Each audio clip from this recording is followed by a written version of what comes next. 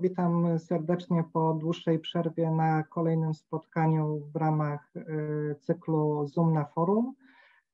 Dziś Państwa i moim gościem, naszym gościem jest Pan Michał Wójcik, dziennikarz, historyk, autor nagrodzonej, nagrodzonych pozycji literatury faktu Treblinka 43 Bunt w fabryce śmierci oraz książki Zemsta, zapomniane powstania w obozach zagłady Treblinka, Sobór Auschwitz-Birkenau.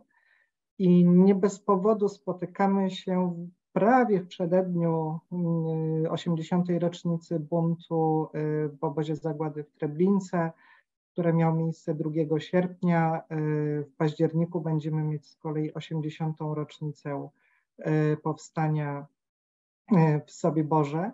I na ten temat zapomnianych, trochę pomijanych aspektów oporu żydowskiego w czasie II wojny światowej, w czasie zagłady,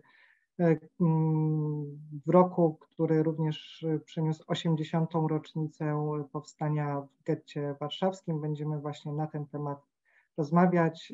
Dziękuję Panie Michale za to, że Pan przyjął nasze zaproszenie dzisiaj. Zacząłbym naszą rozmowę od takiego krótkiego wprowadzenia, ponieważ bardzo często y, zarówno uczniowie, studenci, ale często również w edukacji y, pojawia się takie mylenie dwóch y, tematów bądź dwóch nazewnictw, czyli obóz, obóz koncentracyjny, obóz zagłady. Niektórzy dziennikarze również nie rozróżniają tych dwóch typów. Chciałbym na początku, żebyśmy, zanim przejdziemy do opisywania powstań e, w obozach zagłady pochylili się właśnie nad tym zagadnieniem, czym był tak naprawdę obóz śmierci, obóz zagłady i dlaczego i kiedy zostały e, tego typu miejsca stworzone. Dzień dobry, bardzo dziękuję za zaproszenie. Tak, rzeczywiście spotykamy się no, przed, przed, przed tą pierwszą rocznicą powstania w Treblince, więc jest taki ważny moment. Odpowiadając na Pana pytanie, tak, no rzeczywiście to, to jest niesamowite, to jest ciągle mylone y, obozy koncentracyjne, obozy zagłady.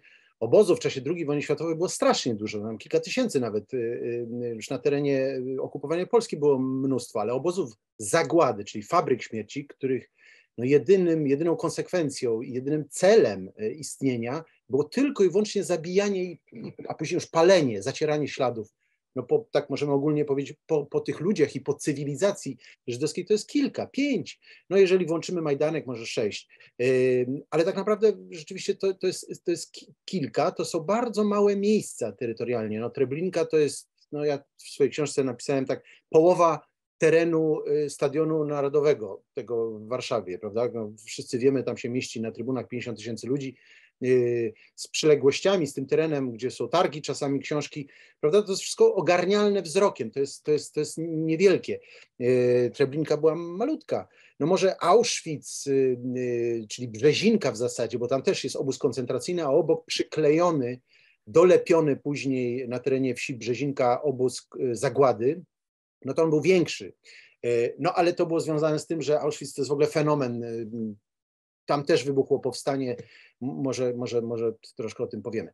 Y, w każdym razie, no więc właśnie, obóz koncentracyjny można było przeżyć, obozu zagłady nie, koniec, kropka. Y, y, ci, którzy tam trafili, wiedzieli, że prędzej czy później, prędzej czy później zostaną zamordowani. E, mimo że przecież do obsługi tych, tych, tych, tych molochów, tych, tych fabryk śmierci, no byli wytypowani, wyciągani na rampie Żydzi, którzy, którzy no to, to były tak, można powiedzieć, przepraszam za, za, za takie sformułowanie, no trupy na urlopie. E, to znaczy oni wiedzieli, że przetrwają tam do, w zasadzie do pierwszego skaleczenia, do pierwszej rany, do pierwszej jakiejś, już o depresji nie mówię, e, o, o szoku, bo to, to ktoś musiał to się przeżywało przez kilka dni. Jeśli się ten etap po selekcji przetrwało tydzień, no to już później człowiek żył, jeśli nazwiemy to życie, funkcjonował. E, e, I no, Treblinka jest dobrym e, miejscem, żeby porównać, bo mamy Treblinkę 1 i 3 kilometry obok można przejść taką drogą kiedyś wyłożoną macewami czy brukiem do, Treblinki 2. I Treblinka 1 to jest obóz, no możemy powiedzieć polityczny, na przykład dla złodziejaszków warszawskich tam trafiali. czy przyłapanin chłopi na niepłaceniu kontyngentów. Tam trafili, no trudno było z niego wyjść, ale zdarzało się. Znaczy można było tam wejść, tam wyroki wprawdzie były duże, no ale można było wrócić z tego obozu, a Treblinka 2 obok nie. No, łączność między tymi obozami była niewielka, to znaczy może na ty, w tej początkowej fazie więźniowie Treblinki jeden budowali, czy pomagali budować baraki, czy tam ten teren jakoś oplatali drutem kolczastym. I to była jedyna ich łączność. Zresztą jak powstała decyzja o buncie, więźniom z dwójki wydawało się, że zatrzymają pociąg do jedynki, który przejeżdżał obok, obok no, tej słynnej rampy e, i razem Y, no, spróbują ich nakłonić, żeby razem, razem przyłączyć się do buntu. To byłby taki bunt już większy, prawda? Nie tylko ci tych 800, 700 więźniów, ale tam jeszcze kilkuset z tego pociągu. No, do, oczywiście do tego, do tego nie doszło. Bunt wybuchł przed przyjazdem pociągu, tam chyba 45 minut. Y, a i tak nie wiadomo, co by się wydarzyło, czy, czy, czy ci więźniowie tak ochoczo by się przyłączyli. W każdym razie i tu byli Polacy żydowskiego pochodzenia, czy Żydzi mm, z polskimi paszportami, Y, I, i, i, i tu, y, także to, to, to, to rzeczywiście to się czasami myli. Y, a na przykład mylono w papierach konspiracyjnych, w papierach akowskich, aczkolwiek już są tam rozróżnienia obóz polski, tak się mówi, obóz żydowski. A okazuje się, że chyba najlepszy wywiad dotyczący tych, tych obozów miał wywiad Narodowych Sił Zbrojnych co jest ciekawe, ciekawe ze względu na, na, zainteresowanie tematem żydowskim. No dobrze, no to mam nadzieję, to jakoś spróbowaliśmy odpowiedzieć na to pytanie. Yy, tak, tu, tu można było przeżyć, tu absolutnie nie. Yy, I fenomenem jest, że właśnie w Treblince udało się tym, którzy sięgnęli po broń i zdecydowali się na powstanie, uratować, co było jednym z celów. Dlatego ja tak no, no, może się nie buntuje oczywiście, ale tak próbuje walczyć z, tym, z tą opinią, że jest to bunt, yy, tylko próbuje tak jakby szczebel wyżej postawić w takiej hierarchii, nie wiem czego, aktu strzelistego wolności, że jest to powstanie, bo powstańcy yy, chcieli no, przeżyć, to jest jasne, yy, czyli no, wydostać się z tego piekła, ale y, ten komitet organizacyjny, czyli konspiracja Treblinki, wymyśliła taki departament historyczny, który dokumentował tą zbrodnię. Powstawały mapy, mam nadzieję, że jedną z nich pokażemy. Y, to nie jest ta konkretna mapa wyciągnięta z, z obozu, ale zrobiona przez tych samych więźniów, którzy przeżyli i później ją odtworzyli. Czyli mapy, y, statystyki, oni liczyli te transporty, nawet dokładnie zdokumentowali, ile złota przyjechało, no to wszystkie te kosztowności, cały ten ten, ten no, no, pamiętajmy, że tam ludzie jechali ze swoimi najcenniejszymi rzeczami, jeśli się udało im zabrać. No, Żydzi nie wiem, macedońscy, prawda, czy, czy, czy bułgarscy, no, wzięli tam, to były całe wielkie wagony z, z tonami żywności. No, więźniowie, ci, którzy żyli, opowiadają o takich serach gigantycznych, które trzeba było wytaczać wręcz e, z, z, tych, z tych wagonów, prawda? Paradoks tego miejsca. E, tak, o.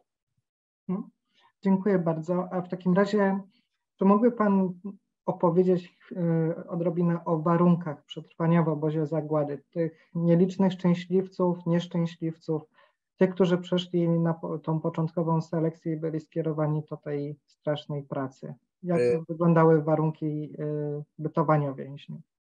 no właśnie, no mówimy o takim bytowaniu psychicznym, prawda, i duchowym, e, i, i bytowaniu no, fizycznym. fizycznie paradoksalnie e, niektórzy bardzo dobrze żyli. E, no my znamy pamiętniki Sonderkommando za Auschwitz. Jest słynny pamiętnik, wydany wielokrotnie, wiele wydań takiego węgierskiego asystenta doktora Mengele, jak się o nim mówi, on sam zresztą się tak przedstawiał, i on opisywał nawet nie baraki, tylko poddasze krematorium, gdzie, gdzie były miejsca noclegowe Sonderkommando, czyli tych Żydów, którzy obsługiwali te komory gazowe, no to on pisze tam o takim no, uczcie Baltazara, no, że, tam stoły uginały się od jedzenia, oni byli świetnie wyekwipowani, mieli dobre ubranie, kupę żarcia, alkohol do, do, w każdej ilości. No tak, i tak podobnie było w Sobiborze i w Treblince w, w momencie, kiedy przyjeżdżały, tak się mówiło, więźniowie tak mówili, dobre transporty, czyli właśnie na przykład z zagranicy, kiedy, kiedy na te większe odległości Niemcy ga, zgadzali się, żeby wyekwipować tych, tych, tych ludzi, którzy jechali na śmierć, e, w, w właśnie, no żywność na przykład. Przyjeżdżały, no w zasadzie wtedy przyjeżdżały tony, tony puszek, e, chleba, oliwek. E, no, paradoks Auschwitz jest, polega też na tym, że, że pamiętajmy, że tam była też kantyna SS i więźniowie mogli w tej kantynie, więźniowie obozu koncentracyjnego, mogli w tej kantynie kupować rzeczy. No, w, ja zrobiłem przed śmiercią Zofii Posmysz, udało nam się porozmawiać, na, nagrać, no, spisać taką, taką rozmowę, jej rozmowę Królestwo za mgłą, to ta książka się nazywa, ona opisuje nieprawdopodobną historię, kiedy mama jej przyjaciółki, to też tak się zdarzało w Treblince, że po prostu są pokolenia, znaczy ojciec z dwoma synami na przykład w Treblince. No w Auschwitz było podobnie, była cała rodzina y, złapana tam karnie w Radomiu i ta kobieta y, zapragnęła, no widocznie przed śmiercią miała taką ideę, że, że, że, chciałaby coś kwaśnego, jakiś taki inny smak, no cokolwiek, co łamie ten smak, koszmarny smak tego fatalnego jedzenia. I pani Zofia, no wtedy dziewczynka 18-letnia i jej koleżanka poszły do kantyny za pieniądze z Kanady, czyli tego baraku, gdzie były przetrzymywane rzeczy pozamordowanych. Tam ukra- znaczy wzięły jakieś złoto, no to się udało ze sesmanami coś tam zagadać i kupiły frutti di mare. No, to, to absurd, prawda? Frutti di mare. Odlały ten, te, te ślimaki, cokolwiek to było, małże, nie wiem, krewet, nie mam bladego pojęcia, co to było, w każdym razie i została im ten, ten sos, oli, oliwa, ocet, nie wiem w czym to było. I ta kobieta mogła sobie przed śmiercią to wypić, prawda, zmarła oczywiście, bo ciało nie wytrzymało tego, tego, tego, no tego, no tego, tego hmm, jak to nazwać, no tego oleju, no, nazwijmy to oleju na, na, na potrzeby tej rozmowy. Ale takie paradoksy były e, w Treblince i w Sobiborze tak samo, prawda, więc jakby w oczekiwaniu na transporty rzeczywiście oni mogli głodować, bo SS-manom specjalnie nie zależało na tym, żeby oni coś jedli.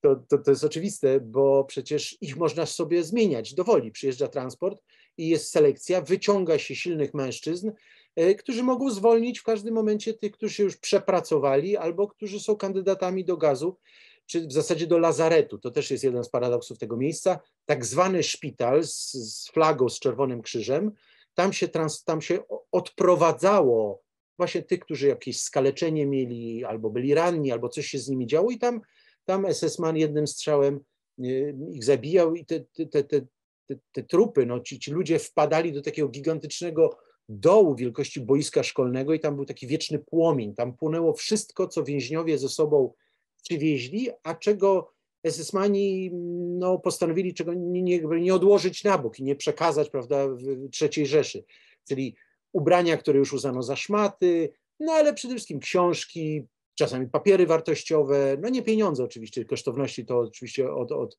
odciągano. Instrumenty muzyczne też na przykład paradoksalnie, ale na przykład no, no, no wiemy o, o, książkach, no wiemy przecież, że tam jechała cała cywilizacja, czyli prawda, no, muzycy zabierają swoje partytury, malarze zabierają swoje płótna, y, y, pisarze swoje manuskrypty. No to to wszystko do tego dołu śmierci, do tego lazaretu i tam jest wieczny ogień, który pożera tą y, cywilizację.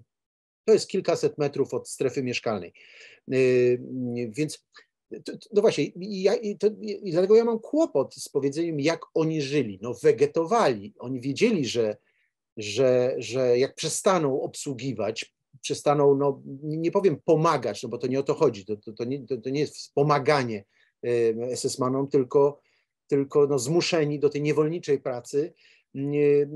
Jak tylko jakby, prawda, wypadną z tego systemu, to ten system ich wypluje, znaczy zabije, no po prostu, y, po prostu zabije. Zresztą y, ci SS-mani, którzy przecież po wojnie brali udział w, w procesach, no to wtedy świadkowie zeznawali, oni zresztą też, no codziennie mieli na sumieniu po kilkunastu, kilkudziesięciu więźniów. nawet sobie bili jakieś rekordy ci SS-mani. No Lalka, czyli wicekomendant Lalka, taką ksywę dostał od więźniów, bo był przystojny, przedwojenny kelner z zamiłowaniem do boksu, no właśnie boksu, czyli, czyli lubił, lubił sobie boksować, czyli no zabijać więźniów. On lubił też wjeżdżać koniem, na przykład w taki tłum, ten koń też się nie bał i masakrował ludzi.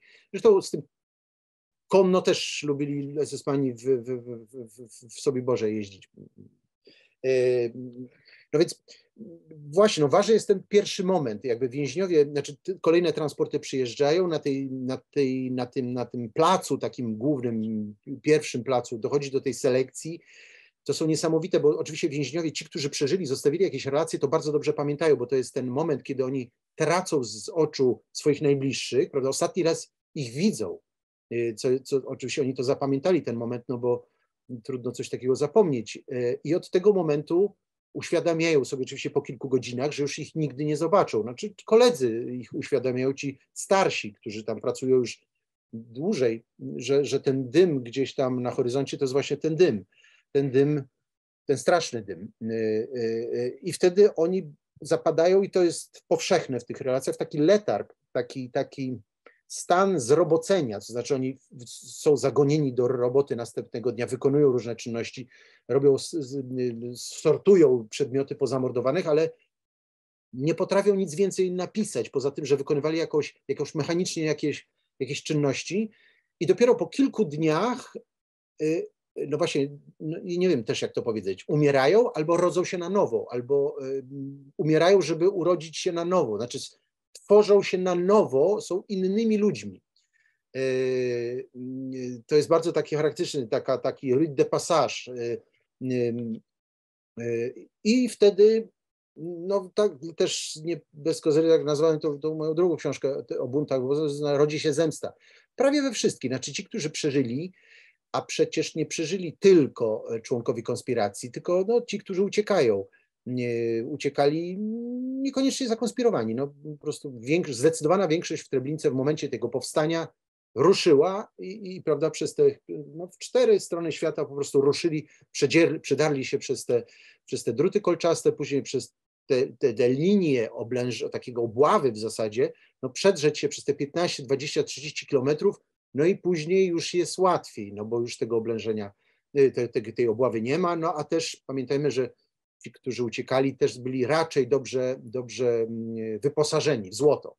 Y, y, ja robię tam kilka wycieczek do mitologii greckiej, akurat to złoto jest potrzebne jak jabłko hesperyt, prawda? Rzuca się za siebie po to, żeby chłopi, którzy czekają z widłami, zajęli się tym złotem, żeby można było po prostu uciec.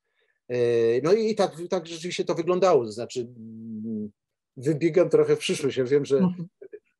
Dobra, to zostawmy tu, postawmy kropkę, bo, bo, bo, bo rzeczywiście cwałuje do przodu, a, a jesteśmy dopiero w tych pierwszych momentach, kiedy oni, ci, ci nieszczęśliwi ludzie tam się zjawiają. E, I pamiętajmy, no, że to mężczyźni, prawda? Zdecydowana większość w Treblince, w Sobiborze troszkę inaczej, e, to są mężczyźni.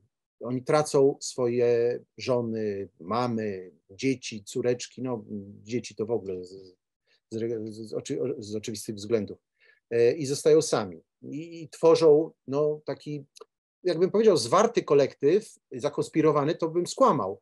To nie jest monolit. Ci, ci więźniowie, których jest tam kilkuset, to nie jest zwarty monolit. Tworzą się jakieś grupki, trzeba najpierw zdobyć zaufanie, to jest też bardzo trudne.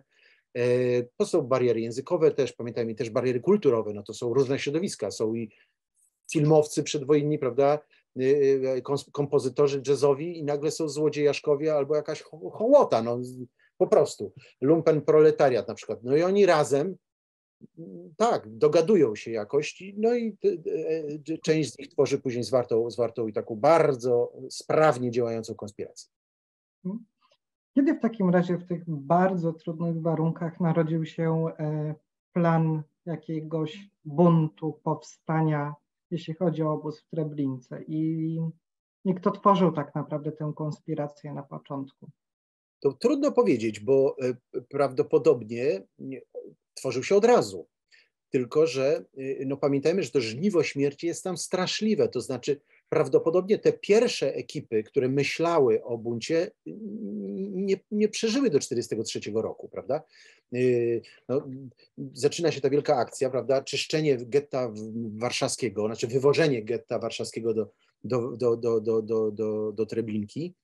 Y, tam trafiają przecież również no, spiskowcy czy konspiratorzy z getta. Więc oni na przykład już, no my wiemy na przykład jak wybucha powstanie w getcie, to kilka transportów y, do, Treblinki jadą y, konspiratorzy z Warszawy, y, bojowcy po prostu, z różnych opcji politycznych. I no, czy to mity, czy to prawda, no różne są wersje, oni nawet tam przywożą broń, prawda? Tam wiadomo, że jakiś granat wybuchł, coś takiego. Może przez pomyłkę, ale w każdym razie wiedza o tym, że tu w Warszawie wybucha powstanie, czyli jest bunt jest możliwy, oni przywożą know-how, ale okazuje się, że know-how już jest niepotrzebny, bo tu już jest konspiracja, prawda? E, to, to jest kwiecień 1943 roku. No prawdopodobnie już na jesień 1942 roku w Treblince jest e, jakiś zalążek konspiracji. Oczywiście pamiętajmy, że tych konspiracji jest dużo. Każdy barak ma swój, każda grupka ma swoja. Pamiętajmy, że to, że, że, że to jest taki system pracy w takich komandach komando leśne, komando, które robi ogrodzenie, komando, które dekarze, którzy naprawiają dachy, śmieciarzy, prawda? To, to, są grupki, które spędzają ze sobą cały dzień, no i dlatego oni się tam lepiej poznają e, e, i budzi się zaufanie. E, no, do historii przeszła ta, ten komitet organizacyjny, no, dziwna nazwa, no, ale tak rzeczywiście we wspomnieniach te, te, ta nazwa funkcjonuje w kilku wspomnieniach, więc dlatego możemy uznać to za oficjalną nazwę. Na, na czele tej grupy staje Julian Chorążycki, przedwojenny lekarz, który pracował u ubezpieczalni. No w każdym razie e, taka elita intelektualna, no i Marceli Galewski. No, ważne, że, jest to, że to są ludzie, którzy już styczność z wojskiem, z wojskiem polskim mieli. E, jest bardzo też silna konspiracja, znaczy silna konspiracja, e, silna grupa czeskich Żydów, którzy przez Terezin y, y, y, przyjechali do, do, do Treblinki. Oni są traktowani trochę inaczej, na specjalnych warunkach. No, liderem, znaczy tam jest kilka liderów, jest Żelo Bloch, on będzie mm, takim szefem sztabu, możemy powiedzieć, szefem sztabu. Też to jest chyba kapitanem przedwojennej czeskiej armii, czy czechosłowackiej armii. I jest Rudolf Masarek. Masarek, który jest pomylony, czy mylony i przez więźniów, zresztą on nie wyprowadzał z błędu, i przez SS-manów, no oni go, lalka go wyciąga, bo on jest lustrzanym odbiciem. Ci panowie wyglądają no, naprawdę fizycznie są bardzo podobni. Wysocy, no, piękni, eleganccy, eleganccy, bo y, Masarek tam przyjeżdża w swoim najlepszym ubraniu z żoną. Gizelą, która jest w ciąży i ona oczywiście ginie, po 15 minutach już jej nie ma. Oczywiście mm, Rudy Masarek o tym nie wie. E, ale jest wyciągnięty z tłumu mm, tam przez, przez no bardzo szybko ten SS-man się dowiaduje, że taki jakiś elegant przyjechał z czeskiej Pragi. Okazuje się, że no on jest y, elegantem, bo on jest takim dandysem praskim, takim playboyem, takim trendsetterem mody czeskiej. Rzeczywiście miał w Pradze czeskiej sklep i dyktował modę każdego sezonu. Z Paryża przywoził kroje różne, generalnie robił w krawatach, w kuluarach, krawatach e, i tak dalej. No i to rzeczywiście taki, taki, taki, taki no, dość zamożny, y, y, nowoczesny człowiek, możemy powiedzieć. I on paradoksalnie zostaje wyciągnięty przez lalkę, czyli tego SS-mana i ten mu powierza bardzo ważny obowiązek wyprowadzenia psa na spacer. Ten pies to Bary, czyli taki, taki, taka bestia, który jest Bernardem, co jest absurdem, prawda? Bernardem, który jest synonimem łagodności i takiej opieki nad ludźmi. Yy, ten, ten Bary jest, on, on, Bary służył i w Sobiborze i w Treblince, zagryza ludzi na hasło yy, człowieku pogryź psa, zawinięcie te, tego horyzontu znaczeń. Yy, on go wyprowadza na spacer, wchodzi w takie, no, w taką jakąś dziwną relację z tym SS-manem, dlatego część tej konspiracji ma za złe mu to, no ale później się okazuje, że to Masarek jest jednym z liderów konspiracji właśnie, no, to była mimikra, no jakoś zbliżył się do tego SS-mana, no a później no, już w czasie walk e, no, wziął na siebie bardzo taki ważny obowiązek tam strzelania z karabinu maszynowego. No umiał obsługiwać broń, też był w, w czechosłowackiej armii. E, I to, jest ta, I to jest taka konspiracja, więc ilu ich jest wszystkich, nie wiadomo, kilkudziesięciu na pewno, tam pojawia się taka liczba od 40 do 60. Zresztą yy, pamiętajmy, no, że część umiera, czy, czy, część jest do końca. No, w każdym razie już w 1943 roku no, są wpadki, są wsypy.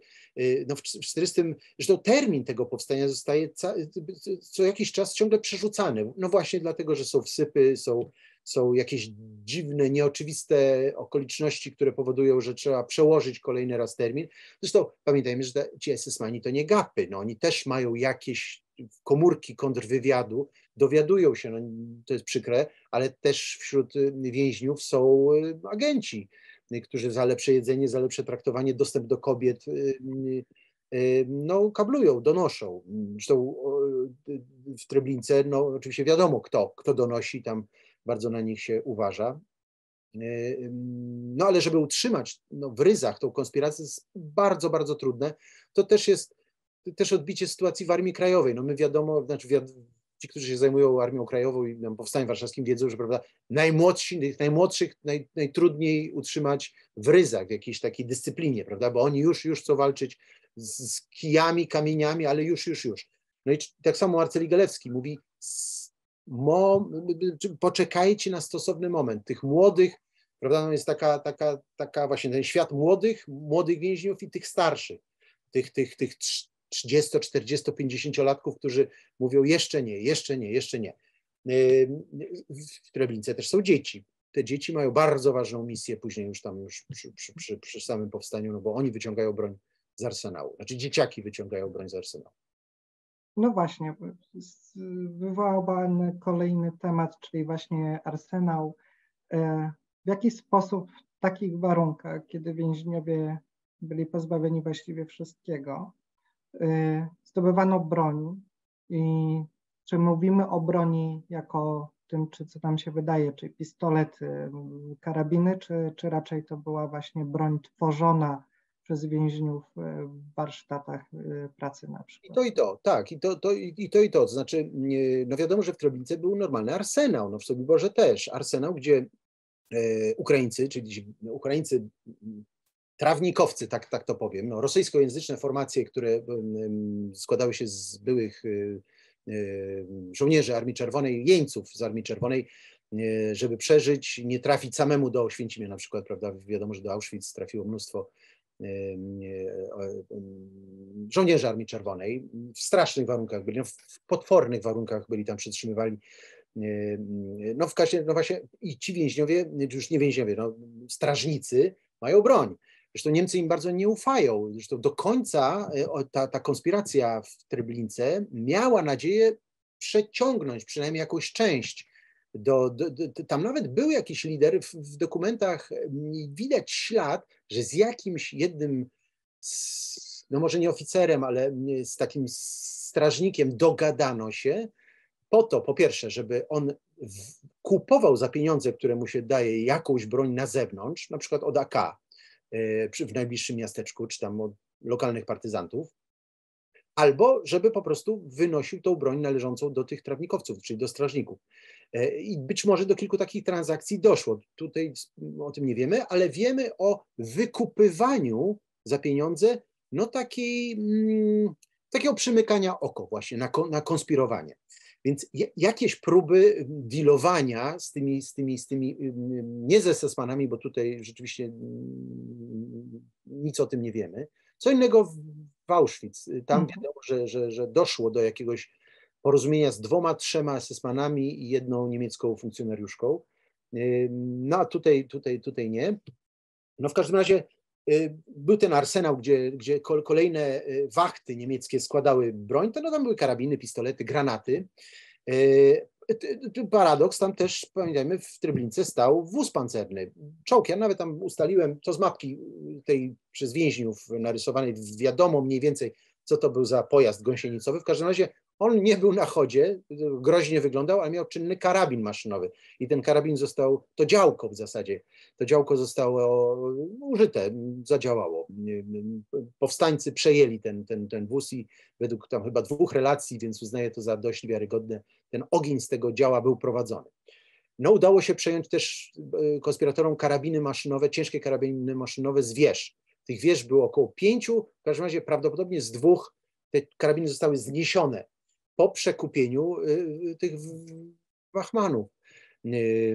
Też dostali pieniądze i, i, i jeden przeżył, drugiego zaciukano siekierami.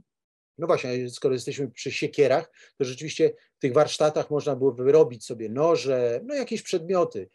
No wiadomo na przykład, że wiernik, czyli cieśla, ten, który stworzył wizualnie treblinki, e, treblink, treblinkę, czyli no, skonstruował kilka budynków. Jeden był tak piękny, że został przeniesiony w ogóle z jednego miejsca na drugie. No tak, tak, tak, tak sobie tam zmieniano, zmieniano no, obraz tego, tego obozu. To on uciekał z siekierą właśnie. E, ktoś inny z, z, z, no właśnie z bronią krótką. E, no, na przykład e, Willenberg, czyli no do niedawna ostatni, ostatni żyjący więzień, którego żona co roku przyjeżdża, zresztą w tym roku oczywiście na, na obchodach powstania również będzie. Krysia przekazała Polsce rzeźby, rzeźby Willenberga które mają być eksponowane później, y, jak powstanie muzeum w Treblince w tym, w tym miejscu, no to on uciekał y, z kolegą i mieli jakiś chyba karabin, który gdzieś tam znale- no, w tym amoku znaleźli, chyba nie, nie, nie strzelali z, tego, z tej broni. No więc to, to różne, to różne przedmioty, które można było uznać za, za broń. No za broń może, mogą też służyć takie, jak to nazwać, fumatory, takie, takie psikacze do dezynfekcji. No, oczywiście zmorą tych miejsc były komary. No, to, to do dzisiaj, prawda, komary są zmorą y, y, polskich lasów czy takich bagiennych terenów wilgotnych. Y, tam psikano na, na, na, na baraki te, te, takimi, takimi środkami, no to użyto tego, wypełniono to benzyną, płynem łatwopalnym i dzięki temu te baraki no, zapaliły się w mig, prawda? Po, od razu jak wybuchło powstanie, no to te wielka łuna, zresztą jedyne, jedyne zdjęcie, jakie ocalało z Treblinku, to jest ten, to słynne zdjęcie zrobione mm, tam kilka kilometrów od obozu, prawda? Widać łunę i to wszystko, co jest fenomenem, bo w sobie Boże już mamy tych zdjęć bardzo dużo, co jest w ogóle niesamowite, ale to tylko dlatego, że pięć lat temu prawnuk y, Johanna Niemana, Niemena, Niemana, SS-mana wicekomendanta, no po prostu otworzył szufladę i oddał z pamiątki po pradziadku y, historykom. To szokujący materiał, znaczy on w ogóle zrewolucjonizował naszą wiedzę o funkcjonowaniu y, obozów zagłady. Wyjaśnił bardzo dużo, znaczy pokazał też motywację. To, to są nie tylko zdjęcia, ale też takie rozliczenia majątkowe, to znaczy okazuje się, że ci SS-mani no oczywiście byli SS-manami, no, przeszli odpowiednie szkolenie, no, nie, nie, muszę mówić, że byli antysemitami, to, to jest jasne, Y, ale oto właśnie to zdjęcie, ale bardzo ważne była, bardzo, bardzo ważna była motywacja finansowa, to znaczy był specjalny tajny budżet, SS. Oni dostawali kupę kasy, a jeszcze do tego kradli, prawda? To, to, to, to, jest, to jest no też dość dobrze udokumentowany proceder wywożenia złota. Ci SS-mani mieli urlopy bardzo, tam co kilka miesięcy mogli wyjechać do, do, do rodzin i wtedy zabierali no już nie tylko tam ubrania przygotowane przez więźniów, ale również sztabki złota odlewane, czy jakieś rublówki, no, no złoto w każdym razie. Y, no ale ta kolekcja zdjęć jest niesamowita, bo to jest tam 300 ileś zdjęć, w Muzeum Terroru w Berlinie była wystawa, zresztą niedługo, jeśli nic nie mylę, to ma wyjść po polsku ta praca y, z tym, z tym materiałem. On jest szokujący również dlatego, że znaleziono i zidentyfikowano, znaczy prawdopodobnie znaleziono tam tego słynnego Iwana Groźnego, czyli Marczenko, Iwana Marczenko, e, który rzeczywiście no był, żeby nie, nie wiem jak tutaj kombinować, to prawdopodobnie on był w sobie, bo zresztą nie, nie, nie, nie, wykluczone, że również i w Treblince. Tam ci oficerowie jeździli te obozy bardzo blisko, bardzo blisko siebie. E, no pamiętajmy, że ci SS-mani tak naprawdę to pracowali tam no zależy oczywiście, mm, ile było transportów, no ale czasami transportów nie było, oni się cholernie nudzili. E, można pójść na panienki do najbliższego miasteczka, można się wykąpać w Bugu, można się upić do nieprzytomności raz, dwa, dziesiąty, setny raz, no ale co robić? Co robić z czasem? Więc oni się odwiedzali, e, grali w piłkę. No wiemy, że w Treblince było boisko, prawda, absurdalne, ale było. W Auschwitz tak samo, bo Tadeusz Borowski o, tym, o, o tych meczach w absolut, absolutnie nieprawdopodobny sposób pisał, prawda? Dlatego no to między innymi to słynne opowiadanie, e, prawda, kiedy on wy, tam chłopcy wybijają piłkę na, na aut, prawda? I jak piłka wraca do gry, nie ma już ludzi na rampie, prawda? Trzy tysiące ludzi poszło do gazu. Pyk, out i nie ma, nie ma, nie ma kilku tysięcy ludzi. E, no więc właśnie, jest, jest, jest to boisko. Przejdźmy może w takim razie teraz już do samego przebiegu powstania w Treblince, czyli przychodzi 2 sierpnia.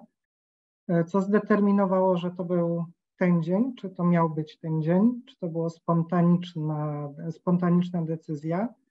I nie, pokrótce, jakby Pan mógł e, właśnie opowiedzieć nie, nie, to, to, to, to była bardzo tak wybrany, wybrany dzień, dlatego że zawsze w niedzielę, no zawsze w niedzielę, no w niedzielę generalnie to był taki dzień, kiedy SS-mani organizowali takie wieczorki rozrywkowe, walki bokserskie, koncerty. My wiemy, że na przykład y, gazownia, czyli mm, komora gazowa służyła do, to, to był taki pokój prób, menueta. Tam więźniowie przebrani w jakieś stroje, które uszyli kraw, krawcy, krawcy, dobrze mówię, przepraszam, w czasie wakacji gubię kontakt z polską gramatyką.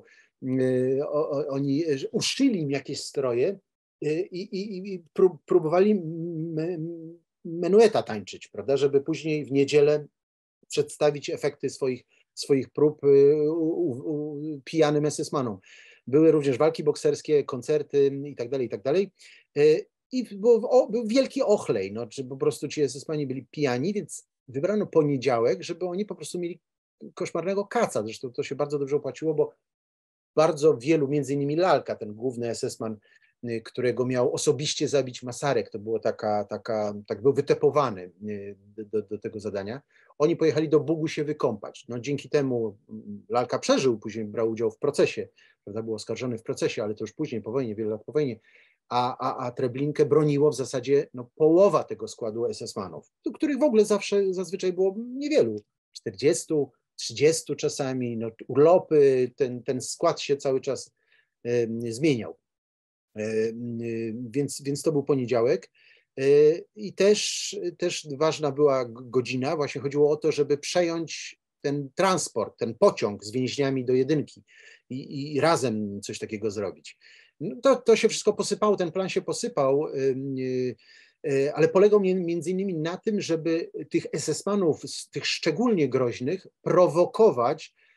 To jest, to jest, to jest niesamowite, no ale ślady tego odkryłem, nie opisałem ich w pierwszej książce, tylko no, korzystając z, z wielkiej pomocy historyków z całego świata, którzy odpowiedzieli mi na pierwszą książkę, to była pandemia, więc dostęp do archiwów był strasznie strasznie, strasznie utrudniony. Mm, dostałem no, takie nowe źródła, między innymi od Aliny Skibińskiej, bardzo dziękuję, z których wynika, że plan był mniej więcej taki, bardzo podobny jak w Sobiborze, chociaż ekipy nie, nie porozumiewały się. Wymyślili to osobno, ale to im przyszło do głowy, że odpowiednie grupki biorą na siebie poszczególnych SS-manów, prowokują ich do różnych zachowań. Na przykład takiego, że no na przykład ktoś wykonuje jakąś głupią rzecz, która oczywiście grozi śmiercią, SS-man nie zabija taką, takiego, taką osobę na miejscu, tylko transport, znaczy odprowadza go do lazaretu, a tam już czekają, czeka komando konspiratorów, którzy tego SS-mana mieli zabić i wrzucić do tego dołu śmierci. E, no ale jak wiadomo, ten plan się posypał, to znaczy prawdopodobnie nie wytrzymał ojciec jednego z synów więźniów, który zrozumiał, że to się może nie powie, że SS-man zabije mu syna na jego oczach. Więc on dał hasło do ataku. E, wrzasnął, no coś się wydarzyło, ponieważ napięcie już było od rana no tak nieprawdopodobne, no, że tam prawda, już palce na cynglach wręcz. E, na cynglach, bo rzeczywiście broń już z arsenału była wyciągnięta, to już nie będę o tym opowiadał, no to jest taka chirurgiczna operacja z chirurgiczną precyzją, no filmowe, no to, to, jest, to jest niebywałe, jak, jak, ten, jak ta broń została wyciągnięta, z jakimi przygodami, błędami, wyciągnięto najpierw, najpierw granaty, później prawda, tą, tą, tą broń, rozdano tym, którzy potrafili operować, zresztą taka rozdzielnia była w, w takim magazynie mechani, mechani, mechanicznym, tam gdzie naprawiano samochody dla SS, e, rozdzielano to, to, to, rozdzielono tą broń, no i prawda, o tej godzinie 15.57 ktoś miał zegarek, no generalnie nie wolno było mieć więźniom zegarków, a był jeden zegar, ale przecież malowany, prawda, na, na, na, na budynku fikcyjnego dworca. No wiadomo, że była 15.57, no bo ten zegarek jednego z więźniów na, na wskazywał na tą porę. No wybucha, prawda, jest jeden strzał i za tymi strzałami to jest hasło, ruszają te odpowiednie grupy, które miał, mają swoje przydzielone zadania, ruszają do, do, do, do, do, do działania. Niektórzy podpalają baraki, inni wabią e, tych trawnikowców z wieżyczek, e, no inni likwidują SS-manów, czy próbują likwidować. Prawdopodobnie, to też jest fenomen, nie zginął żaden SS-man. Mimo tej 20-minutowej na pewno strzelaniny, i to takiej dość, dość, dość ostrej. E, na przykład Sztangl, czyli komendant, przeżył tylko dlatego, że był tak kompletnie pijany, że wytoczył się ze, swojej, ze swojej no tej kanciapy, z takiego, z takiej, takiego, takiego siedziby komendanta i się zachwiał i wtoczył, wpadł do środka i po prostu zasnął, e, więc on nie brał udziału w walkach. Chociaż budynek sam komendatury został ostrzelany właśnie przez Masaryka, między innymi, który prowadził ostrzał z wieżyczki bo w Treblince 2 było zoo, ogród zoologiczny, absurdalne, no ale, ale, ale tak było. Niemcy, Zesmani lubili zwierzęta, jak wiadomo. Mieli tam sarenka, sarenki, lisa, bociana, y, y, Zresztą w tym, w tym albumie, takim słynnym albumie, który Lalka, z, z którym Lalka został zatrzymany, Amerykanie go przyjęli, ten album wprawdzie ma kilka zdjęć wyrwanych, prawdopodobnie wyrwał je i, i, i dobrze, bo to tam pewnie jakieś straszne rzeczy były sfotografowane. Mm, są takie zdjęcia no, mm, z, z, z tych SS-manów, z Treblinki, takie scenki rodzajowe, ale jest też właśnie zoo, no bo on tak kochał zwierzęta. Zresztą album nazwał Piękne Czasy, prawda? Ta służba w Treblince skojarzyła mu się z pięknymi czasami. Yy, więc i te walki trwają 15-20 minut. W tym czasie no, sparaliżowana jest obrona. Część tych Ukraińców strzela, część nie. No to, to, to generalnie no tak, no jest strzelanina, ostra strzelanina, no ale wszystkim udaje się z, ruszyć w kierunku drutów, które nie są pod napięciem, jak wiadomo. To nie jest Auschwitz. Zwalić te druty, przeciąć te druty. Tam wiele osób ma nożyce, czy jakieś takie rampy drewniane, którymi udaje się te, te, te druty zerwać. No i ludzie po prostu uciekają, ile sił w nogach. I, i y, no, pamiętajmy, że no, no, no, na przykład Czesi, prawda, też uciekają, ale nie mają pojęcia gdzie, no wiedzą, wybierają południe, no tak, będziemy uciekać na południe, no bo bliżej naszego kraju, ale nie mają pojęcia, no Żydzi warszawscy, tak, no spróbujmy uciekać na, na, na, na zachód, w kierunku Warszawy, no będzie, no zawsze jakoś łatwiej będzie znaleźć kogoś, może ludzie wybierają swoje sztetle, inni lasy. To, to, to motywacja wybrania, wybrania doboru kierunku jest no, no, różne. To są A czy może Pan powiedzieć, o jakiej liczbie więźniów mówimy? To też strasznie trudno powiedzieć. No, wiadomo, że ich było około 7, 800. 100 w ogóle, 105 czy 106 nie, nie wzięło udziału w ucieczce. Znaczy oni się położyli. Mamy takie świadectwo Suchomela, SS-mana, który leżał między innymi z, z nimi, z kilkoma kobietami, które nie przyłączyły się do ucieczki, prawdopodobnie liczyli na to, że jako ci lepiej sytuowani więźniowie, niewolnicy w Treblince, że oni przeżyją z jakiegoś powodu, że nie zostaną zlikwidowani. Oczywiście zostali zlikwidowani, przewiezieni później do Sobibaru, tam, e, tam zginęli. E, więc ucieka 700, dajmy na to, no ale przecież no też w tej strzelaninie bardzo wielu ginie. Więc liczymy, ale to jest takie liczenie naprawdę no, trochę z fusów, no, że, że ucieka e, około 300, że tam kilkuset no, ginie w tej, tej chaotycznej strzelaninie, w której no, pewno giną ci Ukraińcy również, SS-mani może nie, ale kilku jest rannych. W każdym razie no, kilkuset przedziera się przez te, te, te, ten, ten pierwszy, takie, ten, te pierwszy kilka kilometrów E, i udaje im się przedrzeć dalej. No, pamiętajmy, że to, ta łączność telefoniczna niestety chyba nie została zerwana z Małkinią, e, więc, więc obława rusza prawie natychmiast. Jest tych kilka miejsc dookoła obozu, gdzie są garnizony niemieckie różnych sił zbrojnych, Luftwaffe, zresztą polscy strażacy też są zaalarmowani i też biorą udział w, obławie, a nawet, y, już nie pamiętam z jakiego miasta, no z Małkini, a może z Kosowa, a może z Kosowa, E, jednostki Straży Pożarnej jadą gasić Treblinkę. To jest nieprawdopodobne.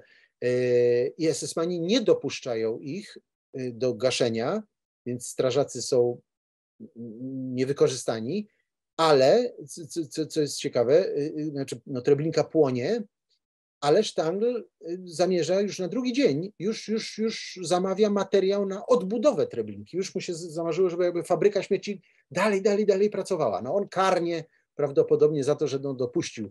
Do tego jest przeniesiony do Triestu i, i przeżywa. No, prawda, później bierze udział, znaczy no, trafia do więzienia e, i jest współautorem, no, tak, tak, tak go nie uhonoruje. No, w każdym razie powstaje z nim taka słynna książka brytyjskiej dziennikarki. E, kiedy, no, tak, taka spowiedź Kata, rozmowy w ciemności, już nie pamiętam, jak to się nazywa. E, w każdym razie jest ta, jest ta wstrząsająca relacja. No i tyle, no a później no to jest ta walka o życie, to jest to wydzieranie przez tych więźniów każdego dnia, kolejnego dnia. Przedzieranie się przez, tak, no przez tych, którzy łapią, przecież to, to, to w zasadzie wszyscy ci, którzy uciekli, a my mamy co, co najmniej kilkadziesiąt relacji. E, no, pisząc książkę dotarłem tam do, nie wiem, 60, e, no może przesadziłem, no 40-50 relacji różnych, od kilkuzdaniowych po, po, po większe, czy po całej książki, no to każdy z tych uciekinierów, czy powstańców, czy tych, no, którzy uciekali, no zetknął się no, z tymi Polakami, którzy no, pomagali, no, dzięki temu żyją, no i z tymi, którzy ograbili albo chcieli zabić. Te, te relacje są absolutnie wstrząsające. Na podstawie tych relacji powstało potem e, takie pojęcie dosyć e, zaskakujące, z którym pierwszy raz też się spotkałem, czyli mianowicie kłamstwo treblińskie.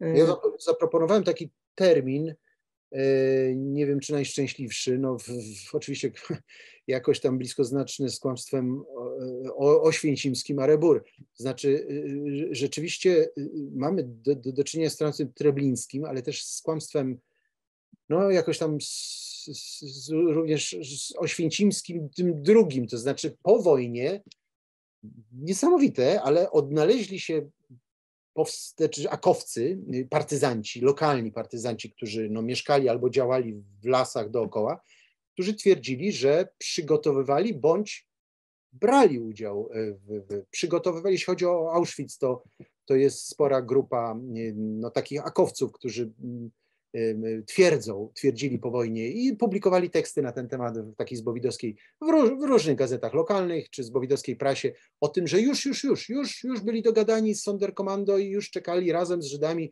w porozumieniu z, też z, z konspiracją tą, tą nie, tylko, nie tylko żydowską, również polską czy zagraniczną, no, mieli razem doprowadzić do takiego wielkiego powstania i pomóc ludziom wewnątrz. No a w Treblince, no to wręcz mamy dowódcę, mamy mapy nawet, mapy y, tej operacji, do, która jest przecież wyssana z palca, bo nic takiego nie było.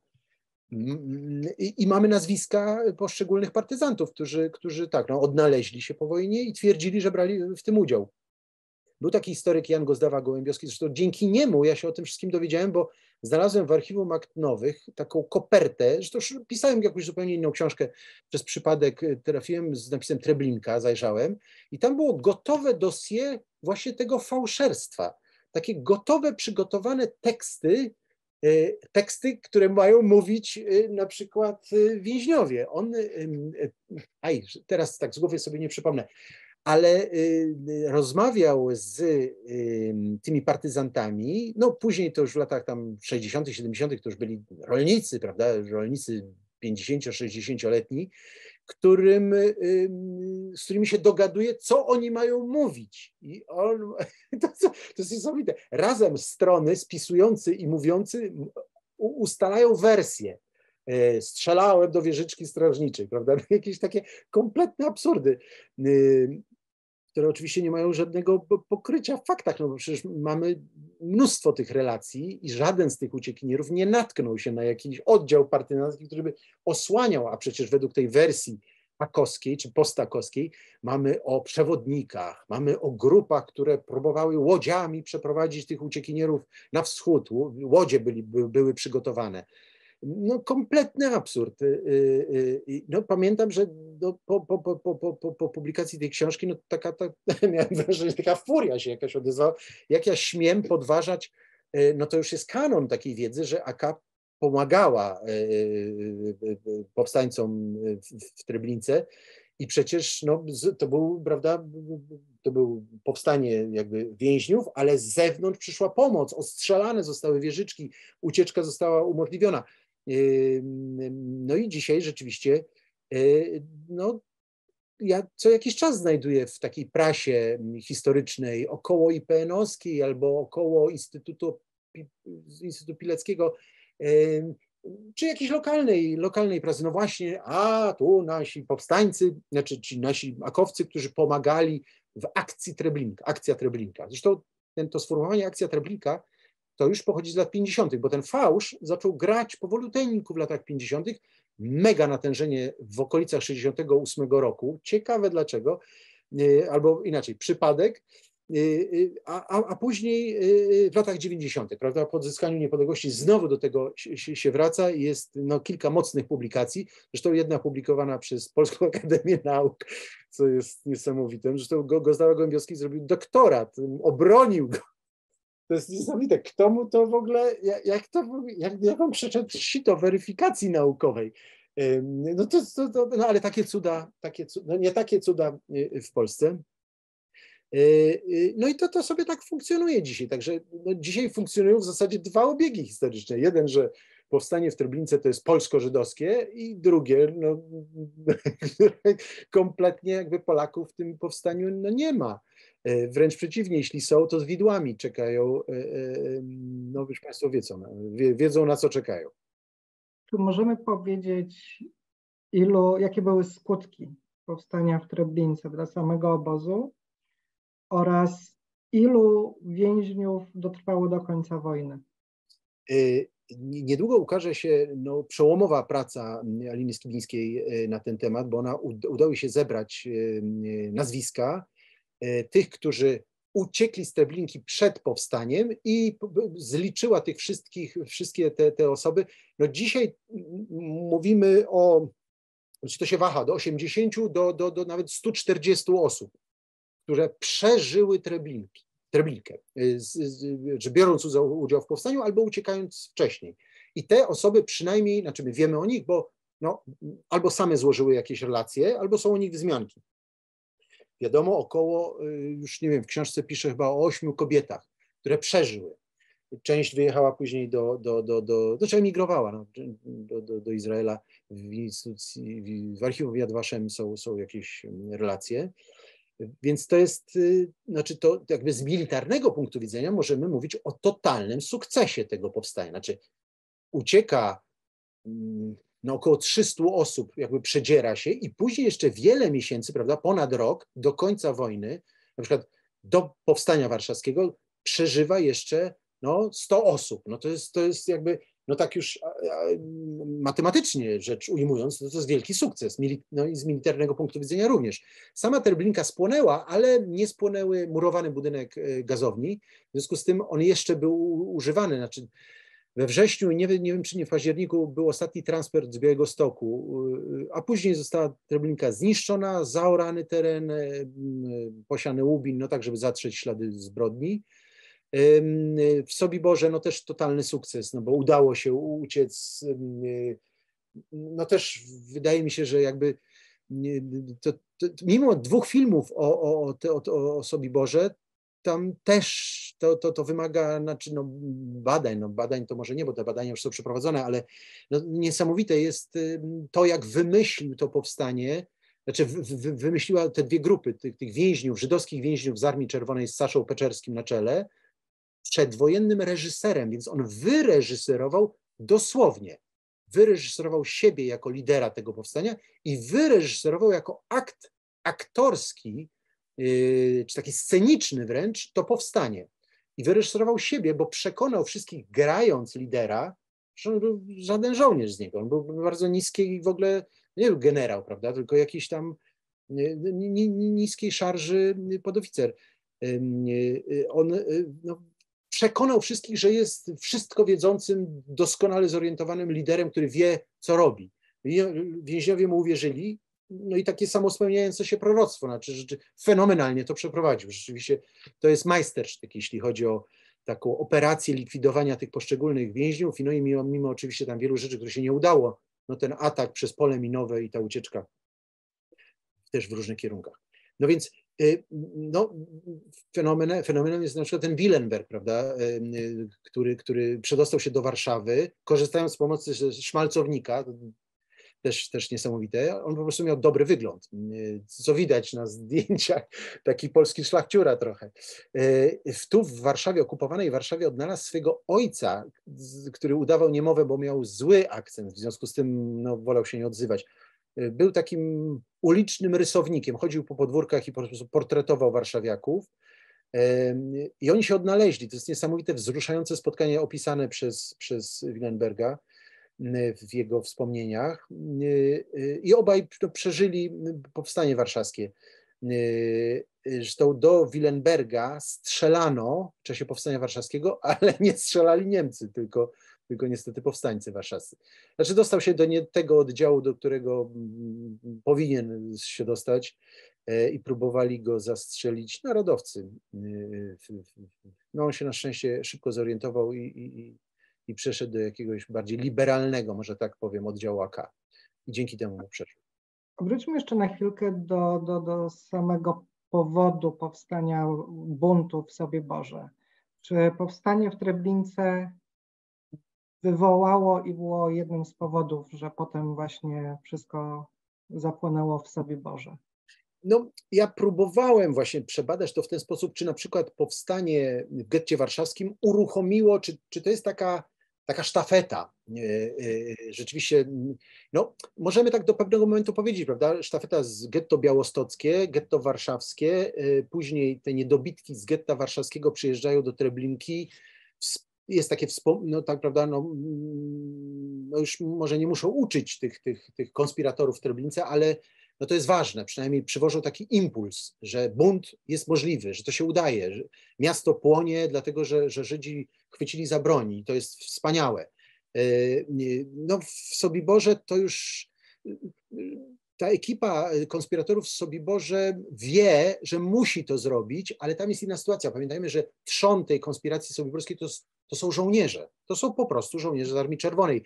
No to oni wiedzą, że są, no mają krótki ląd, znaczy oni zaraz zginą, no po pierwsze są Żydami, są po drugie więźniami Armii Czerwonej, więc zaraz zostaną y, zamordowani. Więc no, dogadują się z tymi, z, tymi, z tymi więźniami, którzy już tam są, no i udaje się, prawda, złożyć dwa, dwa do dwóch i przeprowadzić tę operację. E, no ale w, właśnie, bo chodzi o to, żeby przeżyć, to jest, to jest bardzo ważna motywacja. No ludzie chcą żyć, prawda?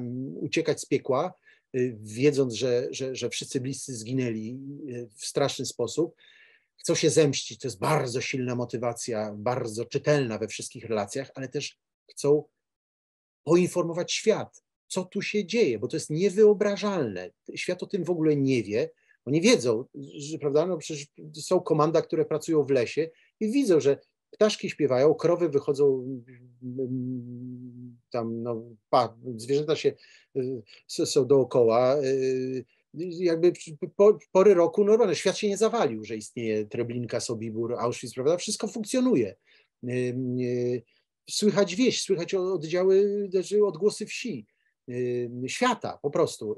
Więc oni wiedzą, że znaczy, no to jest niemożliwe, żeby nikt nie chciał wiedzieć, co tu się dzieje. Więc oni nie, ta, ta, ta, ta, mówię o tej elicie, tym, tym, tej grupie, naj, naj, naj, naj takiej, tym jądrze konspiracji, chcą poinformować świat, y, co, co się dzieje, o kresie cywilizacji żydowskiej i mają w tyle głowy, no, że kiedyś nadejdzie sprawiedliwość, że, że ci kaci muszą, muszą zapłacić. Y, no i dokładnie to się dzieje. Znaczy, czyli z tego punktu widzenia wszystkie te bunty, nawet ten nieudany w Auschwitz, o którym dzisiaj nie mówiliśmy, bunt Sonderkommando. Zresztą zaraz wyjdzie e, książka żydowskich historyków z, z, z Izraela mm, o, o, tym buncie. To chyba pierwsza taka e, monografia tego, tego, tego niesamowitego powstania Sonderkommando w Auschwitz. No pamiętajmy, że, że no, tą motywację oni też zapisali, bo była archiwum Sonderkommando, prawda, zakopane w puszkach na terenie obozu. Tutaj akurat w Treblince nie było tego archiwum Sonderkommando, dlatego że, że, że, że ci więźniowie wzięli to archiwum ze sobą.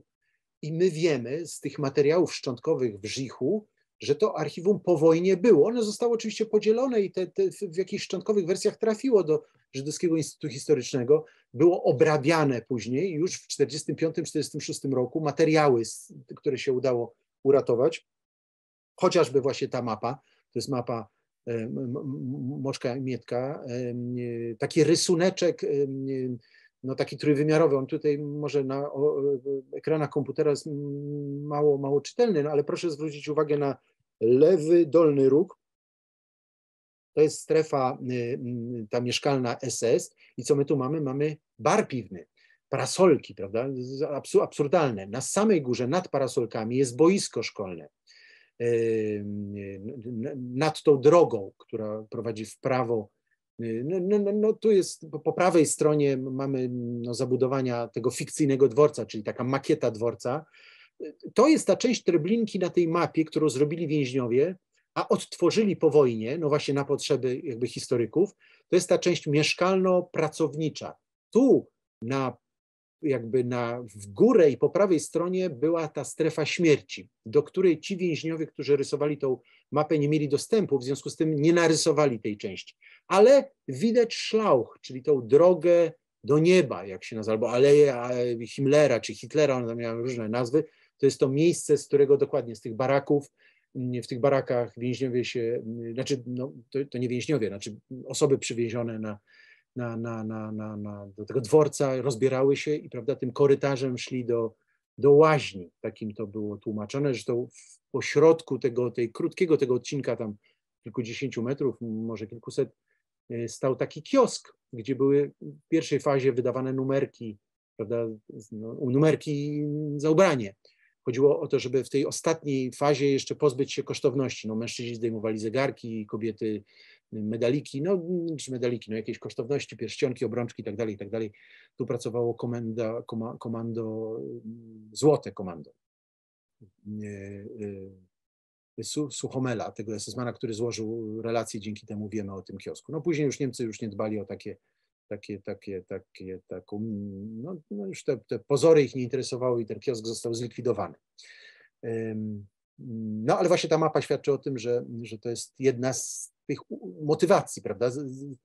Y, robili mapę w tajemnicy absolutnie, trzeba było skombinować coś do pisania, papier, no to za to groziła śmierć, prawda? Za, za jakby zostali złapani za takie rzeczy oczywiste z dzisiejszego punktu widzenia.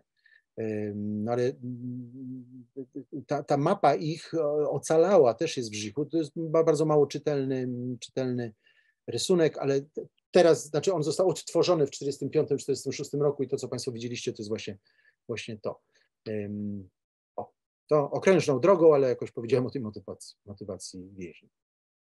Jakie było znaczenie obydwu powstań i współcześnie właśnie ten opór e, żydowski zbrojny z bronią w ręku e, w czasie zagłady? Och, to, to jest temat mm. rzeka, opór, opór zbrojny, temat rzeka. Ja mam nadzieję, że, że, że on będzie. Yy, no była świetna konferencja w Polinie nie, dwa lata temu, trzy lata temu. Mm, Krzysztof Persak to organizował. Yy, szokująca, szokująca dlatego, że pokazuje, ona, ja po raz pierwszy zobaczyłem skalę żydowskiego oporu. Rzeczywiście, bo dzisiaj w podręcznikach dzieciaki, moje dzieci się uczą, prawda, powstanie w getcie. No to jest ten jedyny akt takiego oporu żydowskiego, a, ta, a, ta, a, tak poza tym to nic, no bardziej zorientowani wiedzą może jeszcze tam o powstaniu w innych ośrodkach, w innych gettach, y, ale tak naprawdę nie. Pokutuje ten mit y, o, o, o Żydach, którzy szli na rzeź jak barany. Zresztą ja przepraszam, że tak mówię, ale to jest w ogóle taki idiom powstał, prawda? Żydzi idący jak, na rzeź jak barany. Czy to rzeź barany w sensie takim rytualnym, ofiarnym, czy bardziej takie sformułowanie absolutnie pejoratywne, pogardliwe w zasadzie.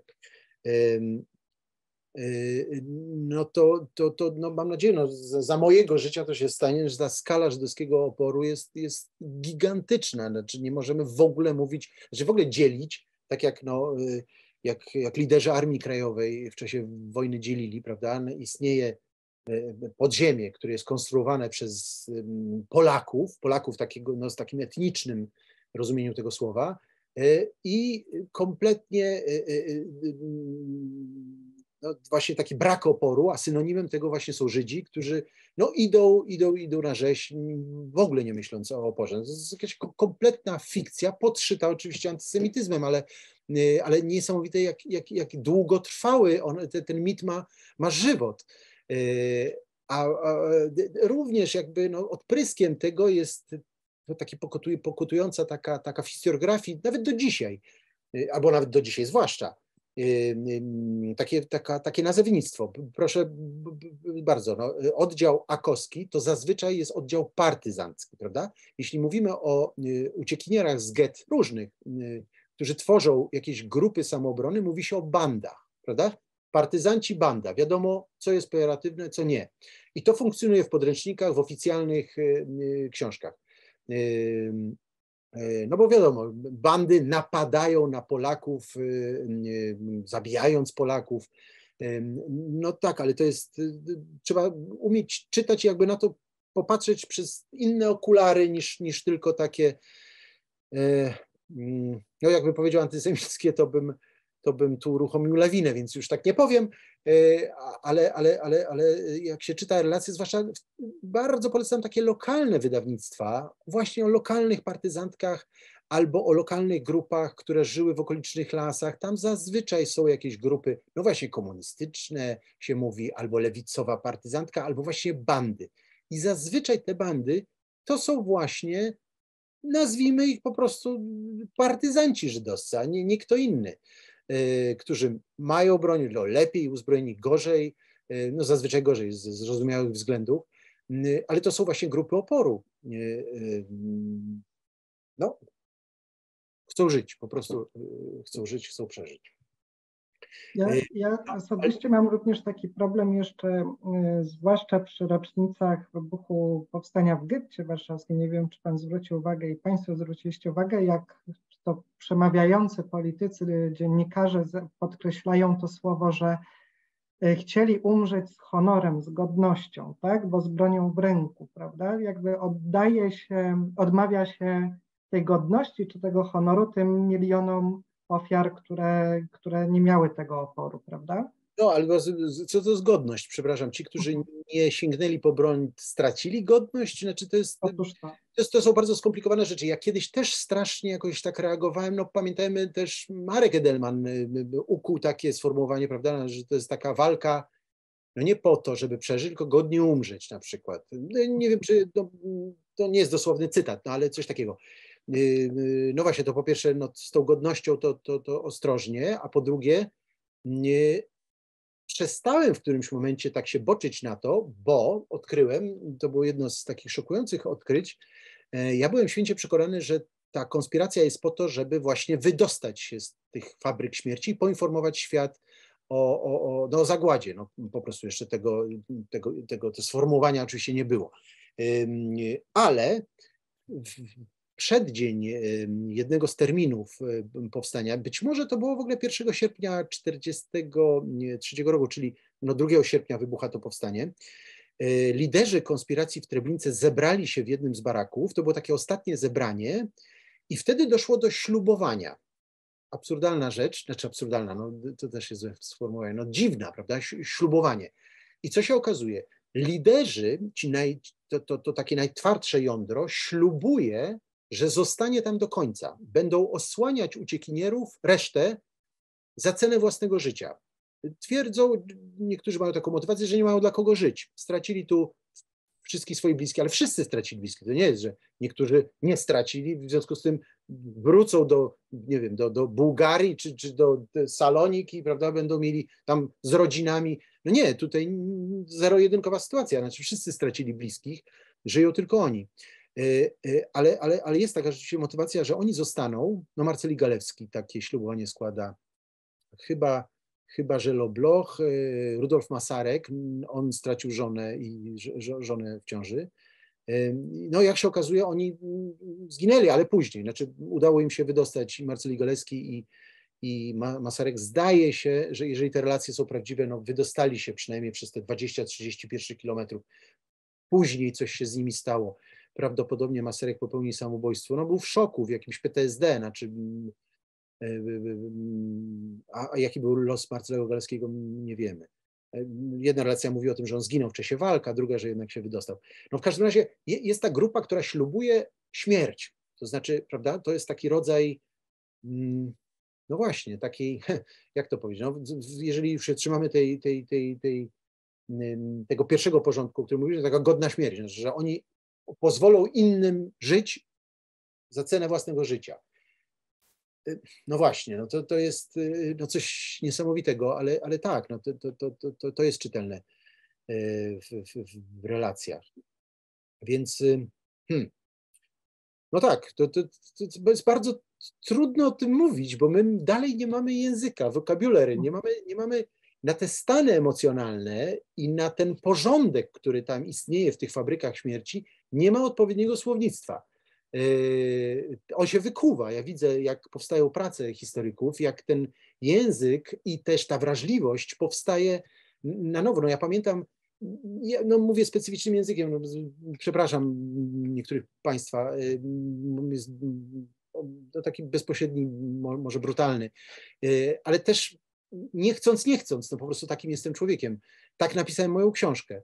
W związku z tym pierwsza, znaczy no moim, oddałem przyjacielowi mm, tę książkę do, do, przeczytania i był oburzony, że jak można mówić prawda, w ten sposób o, o nas, Żydach, w tak brutalny sposób, w taki odarty z godności. No nie wiem, jak to, czy ja dobrze czytam, czytam tą intencję, która dzisiaj wydaje mi się już kanonem w pisaniu o, o, o, o tych sprawach, a może nie wiem, 10-15 lat temu, bo absolutnie nie, nie, wolno było używać tak brutalnych sformułowań.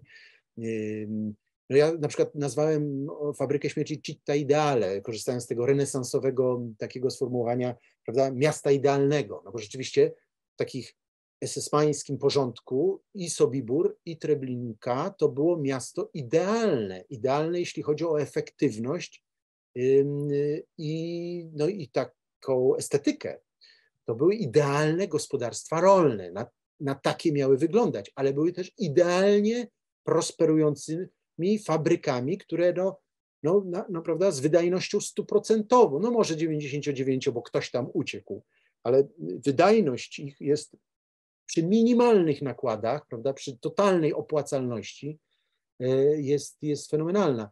E, no właśnie, i, i no, nie znam tych, znaczy 15-20 no, lat temu tak się nie, nie wolno było, no, nie wolno było, no, tak się po prostu nie mówiło, nie pisało o, o tych w, w, relacjach czy, czy, czy, czy w, w, po prostu w literaturze na ten temat.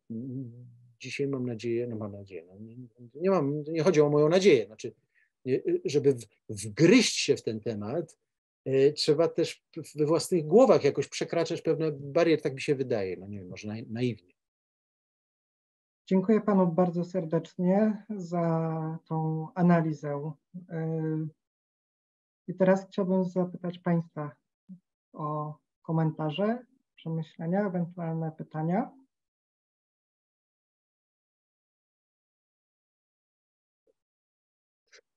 Po więcej szczegółów zdecydowanie odsyłam do y, książek pana Michała Wójcika.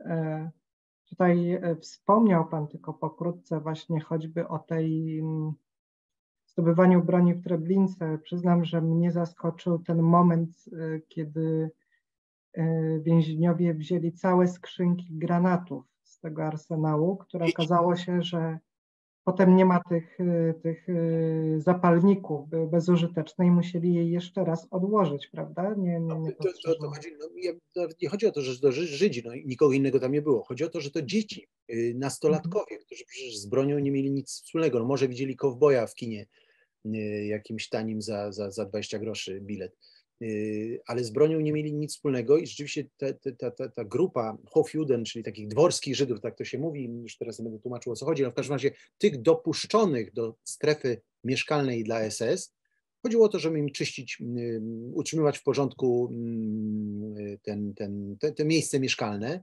I ci młodzi chłopcy dostali się do arsenału, tam wykorzystując różne fortele i rzeczywiście wynieśli granaty, ale nie mieli pojęcia, no w ogóle z czego się składa granat, znaczy, że to jest ta skorupa, która jest z metalu, z, tego, z tej stali, która eksploduje, prawda? A w środku jest zapalnik. No, zapalniki leżały w skrzynce obok. Więc oni wynieśli to, no, fenomenalnie się wszystko udało, udało, no ale później jak pokazali to mężczyznom, którzy już w armii służyli, no to ci się za głowę złapali, no, że absurdalna sytuacja. No, udało się, udał się włam do arsenału, ale wyniesiono broń, która do niczego nie będzie użyta. Znaczy można orzechy tłuc, jeśli oczywiście w Trublince były orzechy. Jeśli nie ma y, pytań, troszkę przedłużyliśmy, wobec tego dziękuję jeszcze raz Panie Michale, dziękuję Państwu za obecność i zapraszamy za miesiąc na kolejny wykład. Serdecznie Państwu dziękuję za spotkanie. Ja bardzo Dobrej dziękuję. nocy. Bardzo dziękuję.